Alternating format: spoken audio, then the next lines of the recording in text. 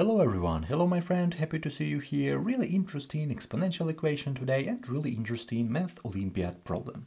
So we have square root of x to the power square root of x equal to equal to 4, yeah? So how can you solve this interesting question? There are a lot of approaches, of course maybe most of you solve it by inspection, but in math we're interested of course in all solutions, so we need to solve it from the top to the bottom of the paper. We are not interested like in one or two lines, yeah? So we need to solve it correctly and all solution. First of all, I want to mention one really interesting moment. We have square root, yeah? And we all know that if we have square root, all inside this square root need to be positive. So the first step, x is positive. x is greater than 0, yeah? And right now, if we go with substitution, square root of x equal to, for example, y, we have the next thing. We have the next equation. We have uh, y to the power y equal to 4. Yeah? So we have this one. And of course, maybe a lot of students solve it by inspection. So in this way, we can solve it by inspection easier than in this one. Because we have y to the power y equal to 4, then 2 square equal to 4. So our y our y equal to 2. But this is not like a full solution. We cannot solve it like in our school. We cannot solve it like that, yeah? We need to, to prove that this will be only one solution or we need to find all solution, yeah? So our y equal to 2 and of course from here we go with substitution y equal to 2, then square root of x equal to 2, and from here x equal to 4. Yeah, so it looks like we solved it, but how can we prove that it will be like only one solution? Let's try to think a little bit and let's try to find how information about this function. Because if we go with the function, for example, p equal to y to the power y, let's find information about this function. It this function will be like monotonic increasing, decreasing. Let's find minimum or maximum this function, and then we will be able like to, to say information about this root. Okay, first of all, we have this function, pi equal to y to the power y.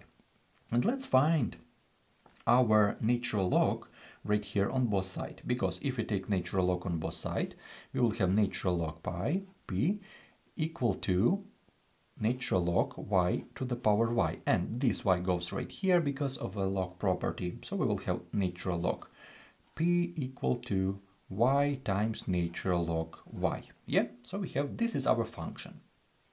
And right now, let's find a derivative of this function. So let's find dp over dy. If we find this, we will have like the next one. This is a product, so we go with this the same with derivative of natural log y. This is 1 over y. And plus derivative of this natural log or this is the same natural log y and derivative of y equal to 1. So this is our derivative of this function natural log pi, yeah? And right now, let's simplify this a little bit. y times uh, 1 over y equal to 1, so 1 plus natural log y. So this is our derivative. In this case, we're interested like in the point of minimum or maximum. So how can we find it? We need to solve the equation with our derivative. So 1 plus natural log y equal to 0, yeah? And we need to solve it. We will find our y from the point of minimum or maximum, yeah? Let's do this. Uh, bring this one on the right hand side, so natural log y equal to minus 1, and from here we can easily find it, because y equal to y equal to e to the power minus 1 or 1 over e. And this is really good, because we find our point of minimum or maximum. We don't know right now about it, but we find with y. So let's go to our x, because we had a substitution right here, so our x, so square root of x equal to 1 over e. So from here, square both sides, raising to the second power, our x equal to 1 over e square. And this is our point of minimum or maximum. We don't know about it. This is one, this is one point of minimum or maximum. I write it right here. So our x equal to 1 over e square. This is our point of minimum or maximum. We don't know about it. And let's find our second derivative, because if you find derivative, if you find the second derivative, we can easily so we can easily see about the monotonic increasing, about uh, about minimum or maximum. We will find like all information about it. So our dp over dy. Let's go right here, because right here, second derivative, we have derivative right here. If you find the second derivative, it will be like 0 and natural log y equal to 1 over y. This is our second derivative. Derivative of this expression. So the first derivative and we find the second derivative. And one really interesting moment, because y is always positive. So y is greater than 0 because x is greater than 0, yeah?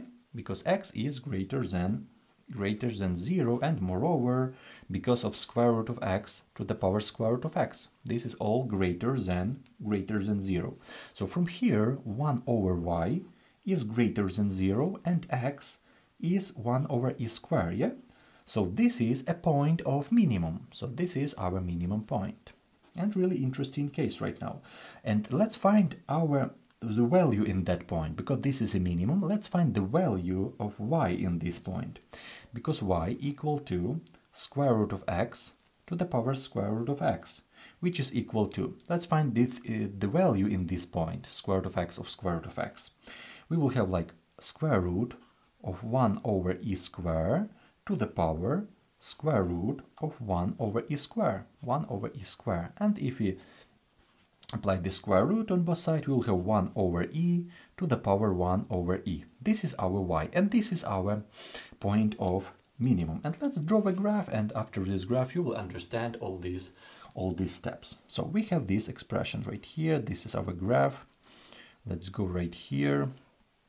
So our 4, this is our constant. So let's draw this 4 right here. So this is our constant, right right here, this is our constant constant 4, yeah?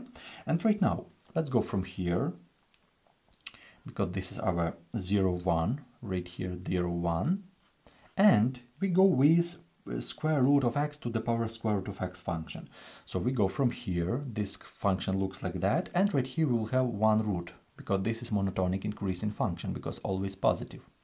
And this is our point of minimum. We find it right here. So this is our point. I write it we have like 1 over e square, this is our point, and y equal to 1 over e to the power 1 over e. 1 over e to the power 1 over e. This is our point of minimum. Minimum. Right here we will have point of intersection. So if we solved before, we will have like 2. So this is our, our 2 right here. 2. This is our point of minimum in monotonic increasing function, monotonic increasing monotonic increasing function and one and only case that this equation will have roots is when x equal to 2 because we have point of minimum right here we don't have any point of intersection and our function grows increasing and we'll have like one point of intersection with this constant function so this is my explanation to this problem. Of course, maybe a little bit complicated because with this derivative, because with this point, maybe a lot of students don't know a lot about it, but I hope you you understand maybe a little bit, maybe a lot understand. So I hope you enjoy this video and I hope you you understand, of course, this explanation. If you don't understand, write your question in comment. We try to help everyone. If you have a little bit difficulties with derivatives, with this explanation, I try to help everyone. And thank you for watching. See you in the next videos.